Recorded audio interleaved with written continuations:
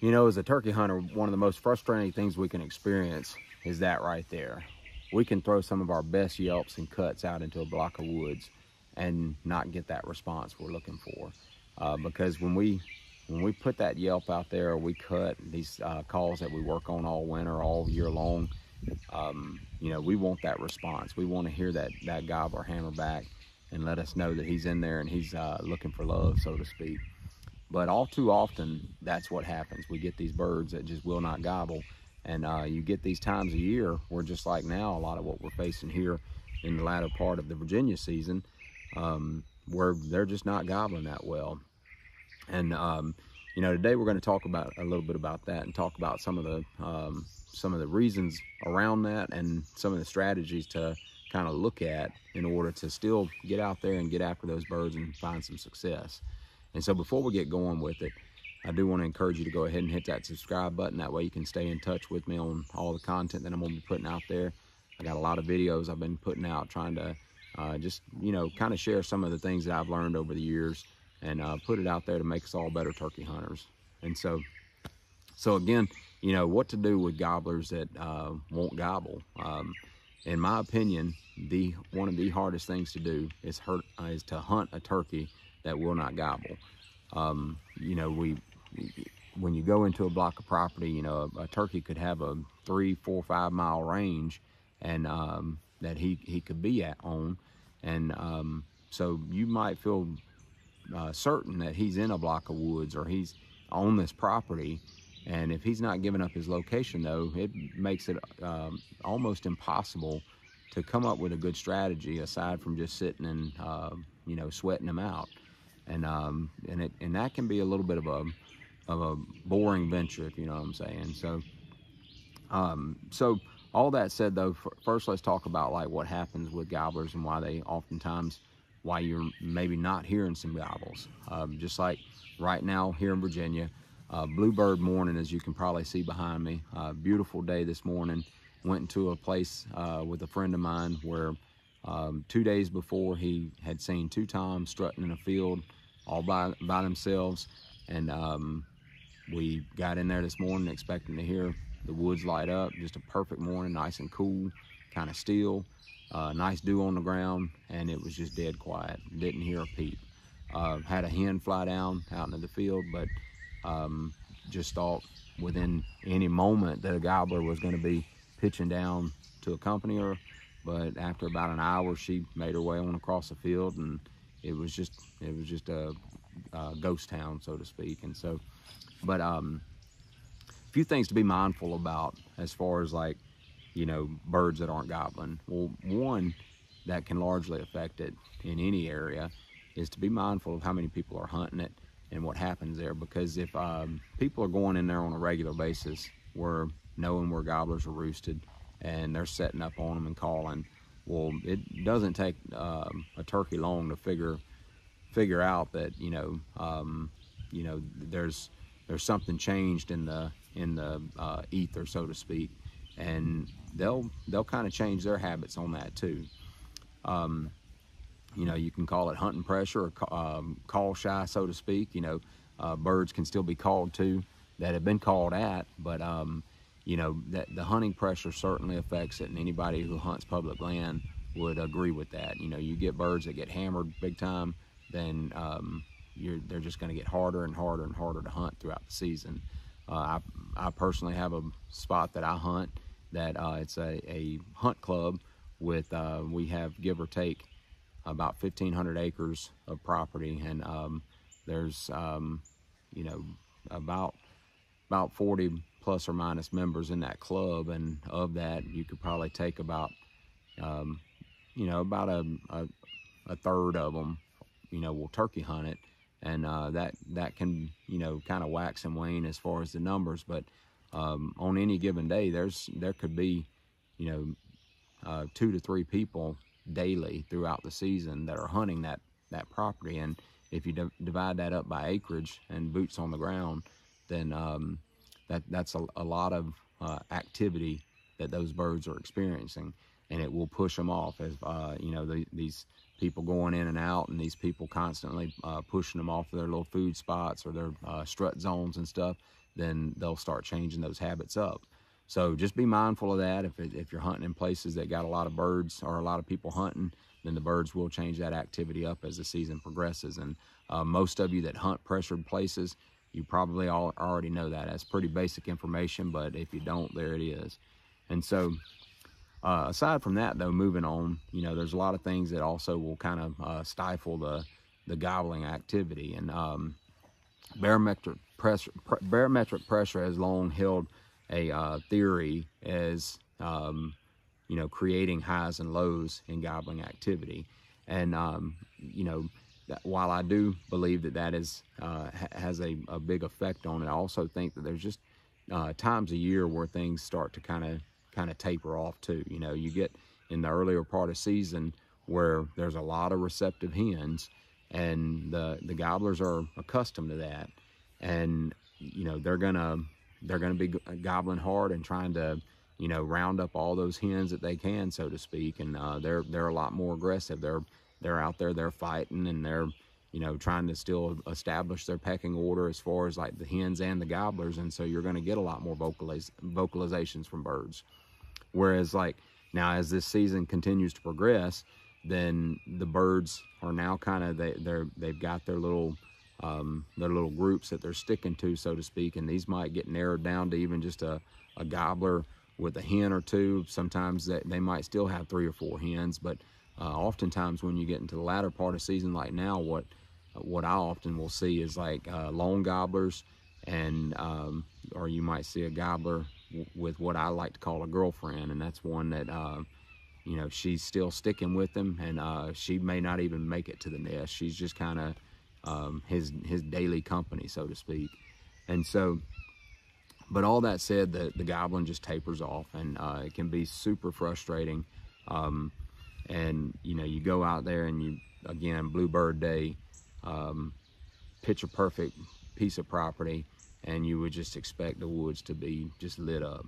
Well, you know, what do you do on those kind of days? How, how do you um, still manage to go ahead and have a successful hunt or, um, you know, at least get some bird activity going?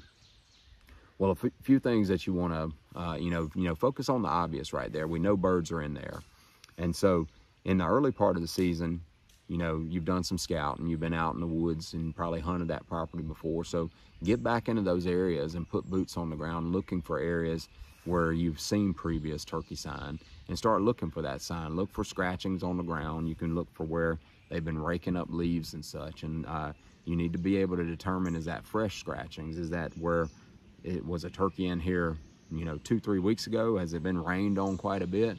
or was this this morning? You know, use your own boot to kind of rake the ground back and see, you know, compare the contrast of the of the ground and uh, you know the the the um, you know the, the, the dirt and the the leaves and whatnot as to what you're looking at there where that scratching is.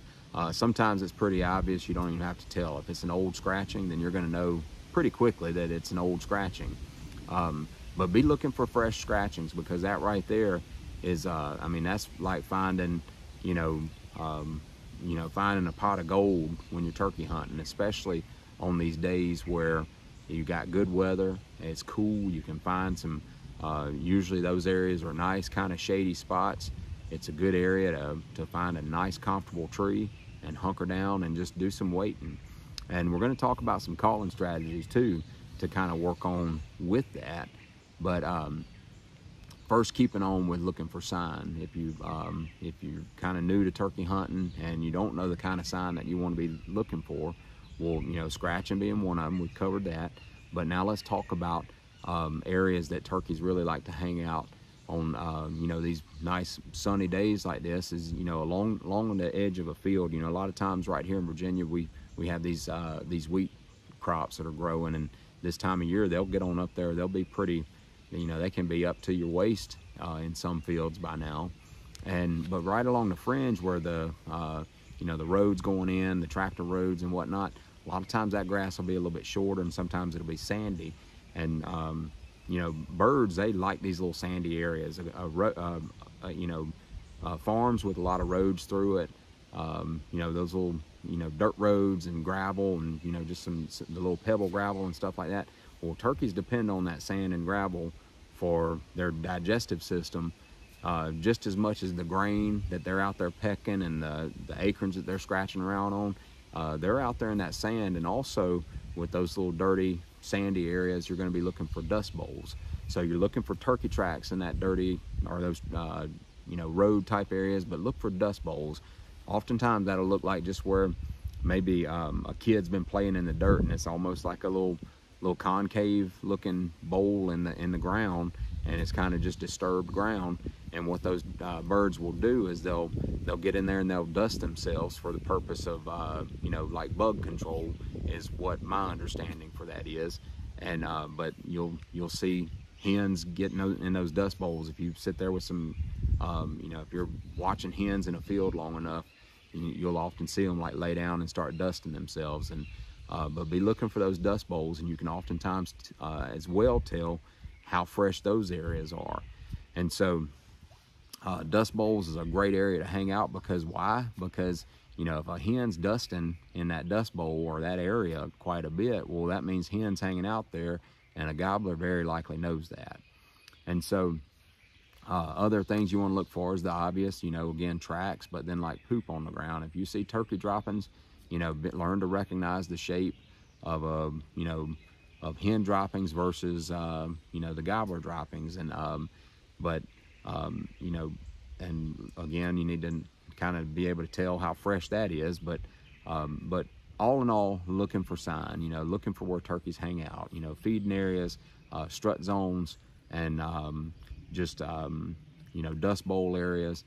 And, you know, of course, that, there's areas where gobblers just like to hang out. There's kind of little shady spots along fields edges and stuff. And they'll just kind of, especially in the heat of the day, you know, they might hang tight with a little shady spot and just you know lay down on the ground and hang out there for a large part of the day and won't say a peep. You can get in their bubble all you want to and throw some of the uh, the best cuts and yelps in the world out there that could take you to uh, all the way to Nashville and it's going to be hard to pull a response from that, that gobbler. But so now let's talk about that though and still calling to turkeys and uh, still hunting those turkeys on those days and not my favorite style to hunt them uh, to just sit and wait on them but sometimes you know if you're uh, trying to you know punch that tag on days that gobblers aren't gobbling then you know waiting them out is going to be a, about the only choice that you get but but getting into some of the calling strategy let's say that i found a spot where there's a lot of turkey sign maybe there's uh, a lot of scratchings on the ground and i just know this place is just scratched up with it uh, or tore up with you know scratchings on the ground and well I'm gonna find me a big old tree where I can hunker down and I'm probably gonna take my cutters and build me a little brush blind and then that way I got uh, some cover around me unless you know there's unless I can find something to you know kind of hunker down in within that area that I can still see well because the idea here is is that like again you know if you can see that gobbler coming to you before um, he sees you, then um, you know, of course, if he sees you, your your chances are going to be blown. But you want to be able to pick him out coming through the woods, and a lot of times in those shady woods, it can be tough because you get out there and that breeze is blowing, and you'd like to doze off. You know, you've been up since three, four o'clock in the morning, and you can get quite comfortable sitting on in that shade sometimes. But but what I like to do though is kind of just hunker down, and uh, I'll oftentimes build me a little brush blind, and um, early part of the season, you know, I'm oftentimes just depending on just a mouth call.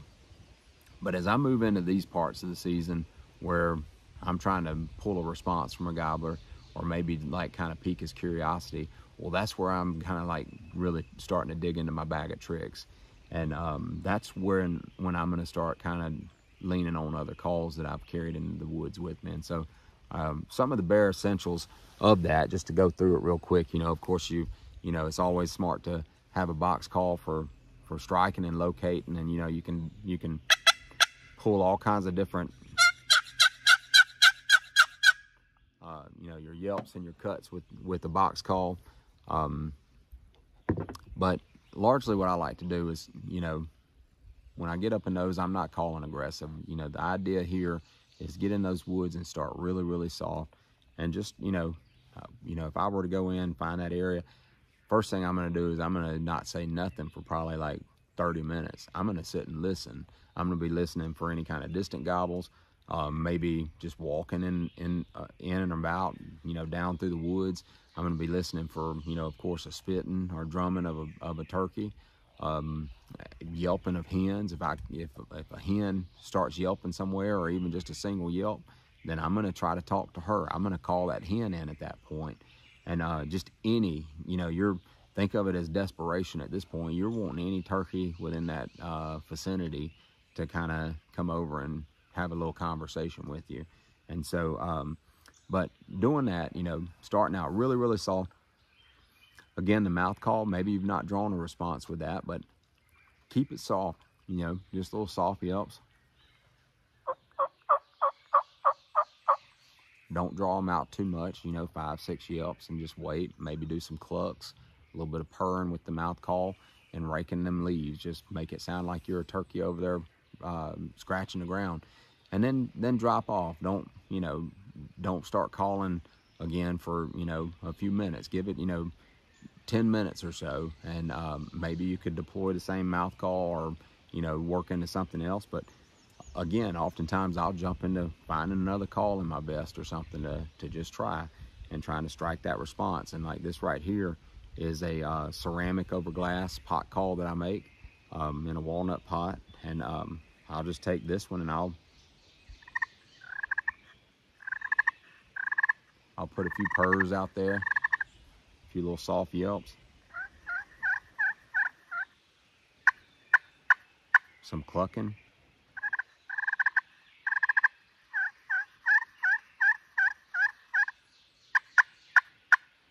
all in all though i'm just wanting to kind of keep it keep the uh, keep it down keep you know you don't want to be trying to crank it up and get them too or get real fired up because you know the woods are quiet so just you know do what you're hearing you're not hearing a lot of turkeys so you don't want to be that one weirdo turkey out there that's just like hadn't shut up for the last 45 minutes to an hour because trust me a gobbler's going to say no nah, something's not right about that and so that was a ceramic though and so i might wait you know, 15, 20 minutes, and I might break out a different slate surface. Like right here, I have a cherry pot with, uh, it's a cherry or a slate over glass and a cherry pot, and uh, same striker here, but if I wanted to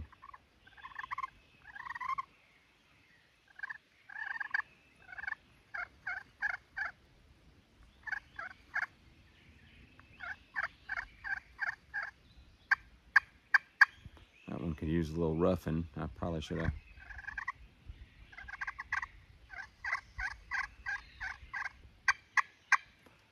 Um, but the good thing about a any slate surface too, or any uh, pot call like this is like, let's say you know you could carry two. If you if you carry two pot calls like I do, and then say um, I carry probably about we'll say um, six to eight different strikers, well, that's 24 to 32 different calls essentially that you've got uh, because you're you're able to vary that sound just a little bit, and so.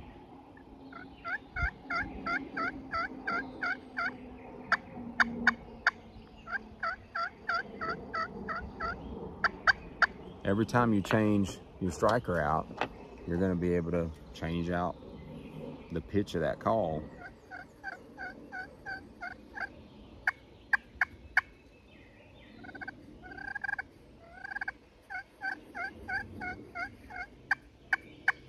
But the big idea there, when you're doing, um, when you're hunting turkeys that just aren't gobbling real hard, is to just keep that volume and that uh, that aggressiveness really, really low because they're not aggressive. So don't be getting aggressive yourself and trying to, you know, um, you're not you're not going to be able to just turn them on like in an instance like that. So the idea would be that he's feeding along and um, he hears some soft calling and he's just going to come over there and kind of take a peek and uh, you're you're going to be very receptive to him doing that and hopefully be ready. So, um, but the idea is to make sure and have a little bit of an arsenal of calls.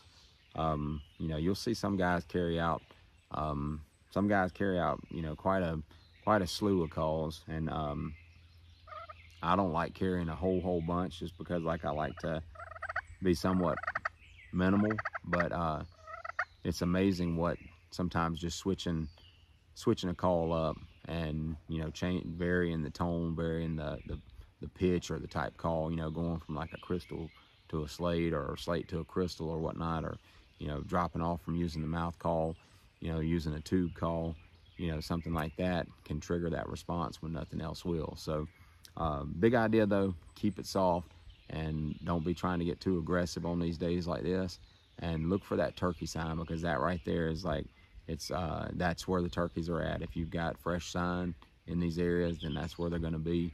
And just get in there and wait on them because they're going to be they're going to be coming through there, and you'll you will find success doing that. So. Uh, be sure and drop me a comment below. Let me know what you think about this video and if uh, there's anything that you're looking for uh, tip wise that might can help you out with like hunting gobblers and you guys stay with them because it's uh, still a lot of good hunting left. And I've had uh, several years in the past where um, we have these little lulls like we're having now, and then uh, things just fire right back up in that last week. And it's uh, you would think it's the very first week of season the way the gobblers are responding. And the good news is, is a lot of times you get on a bird this time of year. Uh, what I found is some of my best birds in my life have been these late season birds. Uh, oftentimes when you kill these birds um, this part of the year, they are some hammers. So get out there and put the time in, uh, do your homework, get your scouting in there, find where those gobblers are hanging out, um, move around quietly, be listening and get focused and um, be working on the calls and call that gobbler in and shoot straight. Um, and we got about another week here in Virginia, and so uh, several more, you know, about another month throughout the, the country, I guess you could say, give or take, um, and start tapering off here as the month of May rolls on. But um, uh, I've got, I'll be going up to Maryland um, next week. I'll be up there uh, this time next week hunting, and then uh, come back for a short stint here in Virginia, and uh, enough time to maybe uh, put, hopefully put some turkey breast in the freezer and it won't be long after that I'll be headed to New Jersey for uh, my final hunt of the year and I'll be hunting up there. I'm taking my wife with me. We're ho both hoping to uh, tag a, a, one to two um, New Jersey birds. So, um, so you guys stick with me. Hopefully have some great content to share with y'all in the upcoming weeks of some uh, post-season stuff and uh, drop me a comment below and let me know how your season's going. Let me know if there's any info that I can help you out with. I uh, love helping you guys with anything uh, turkey hunting related. And uh, you guys be sa safe out there. And um, let me know how your season's going and be working on those calls because they are still gobbling.